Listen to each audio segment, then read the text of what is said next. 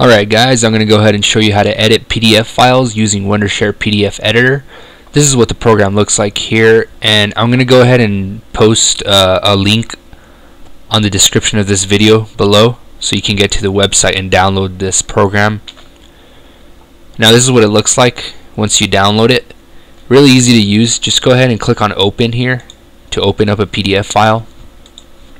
We're going to go ahead and search on the desktop here and we're going to open up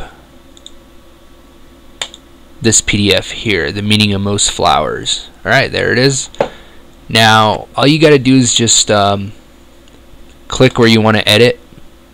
For example, up here, there there's tons of editing uh, features here, but let's go ahead and uh, click on the text edit here, this button.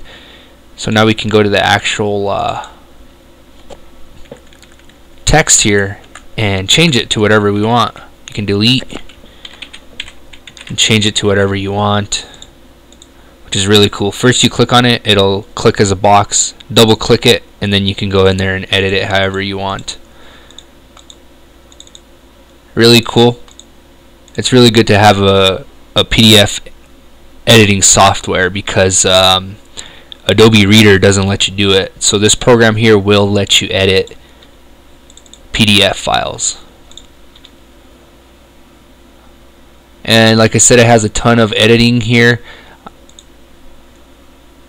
Mostly you're going to use this one, the A edit, the one we're using right now where you edit the text. But like I said, there's tons of more features on here that you can use. You can add an image, add text, insert from another PDF. You can write comments, notes, highlight stamps. You do everything here, which is really, really cool. You can even protect it, password protect it, however you want to do it there. If you want to keep it secure. Really cool program, really like it. Really useful. So hopefully I've helped you guys out that we're trying to find a program like this to edit PDF files without having to buy the expense the expensive version of Adobe Reader with this program here you you can edit it.